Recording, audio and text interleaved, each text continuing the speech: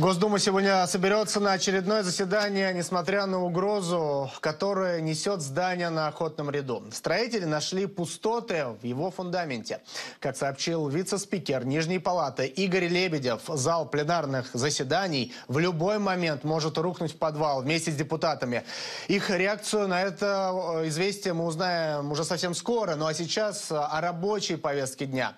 На прямой связи с Госдумой наш корреспондент Екатерина Миронова. Екатерина, здравствуйте. Здравствуйте. Какие законопроекты сегодня рассмотрит Нижняя Палата? Здравствуйте, коллеги. Что касается выявленных пустот под зданием Государственной Думы, то, судя по всему, эта информация никого не испугала. Депутаты сейчас спешат в свои кабинеты, а в полдень начнется э, заседание непосредственно в зале пленарных э, заседаний. Фундамент э, обследуют дополнительно, и по сведению некоторых парламентариев, в случае, если будет э, выявлена еще э, какая-то пустота, какие-то дополнительные дефекты, то тогда здание на охотном ряду будет признано аварийным. Я напомню, что э, ремонт э, здесь должны, э, согласно нынешним планам, начать сразу после весенней сессии, то есть летом на время этих работ, а это с учетом выявленных обстоятельств более года, заседания депутатов Государственной Думы будут идти в колонном зале Дома Союзов. Сегодняшняя повестка весьма насыщенная. Так, в третьем чтении парламентарии намерены рассмотреть инициативу, которая позволит родственникам родственникам тяжело больных пациентов посещать их в реанимации.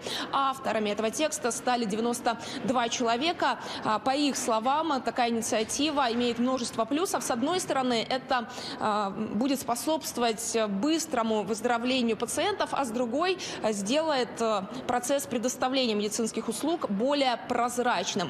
Проголосовать за депутатов Мосгордумы можно будет через интернет. Это еще один законопроект, который депутаты Государственной Думы рассмотрит сегодня в окончательном третьем а, чтении. Пока это только эксперимент.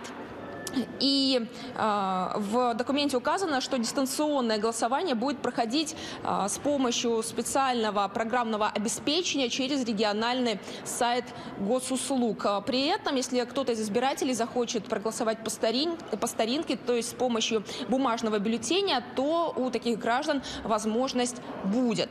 Э, также отмечу, что в первом чтении сегодня в повестке инициатива, которая предполагает наказание за за зарплатное рабство для работодателей, сейчас у гражданина есть право заменить банк, э, в который должна быть переведена его заработная плата, э, сообщив э, на работу новые сведения. Вот если какие-то создаются препятствия, то согласно тому законопроекту, который сегодня будет рассматривать в первом чтении, работодатель будет э, должен заплатить штраф для юридического лица, это до 50 тысяч рублей. Вот любопытная статистика, сейчас примерно 29% россиян имеют банковские карты для получения зарплаты. Также Госдума сегодня рассмотрит инициативу, которая позволит в исключительных случаях людям с ВИЧ и гепатитом С усыновлять детей.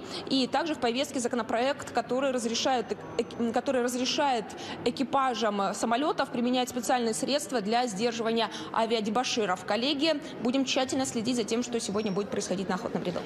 Екатерина, спасибо. Наш корреспондент Екатерина Миронова работает в Госдуме.